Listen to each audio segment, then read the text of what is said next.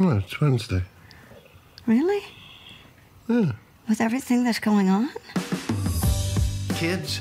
You've got three, right? Four. Once mine, three are adopted. no. They're all mine. Family meeting on Saturday. I'll text you when.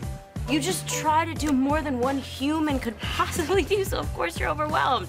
I am trying to hold the shambles of my life together, and our son is having a psychotic break.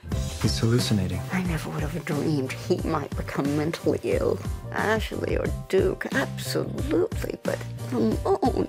It's my thing, Mom, and you can't control it. It's just mom being mom. She's scared. I get it. I need you. What's wrong? Is it Ramon?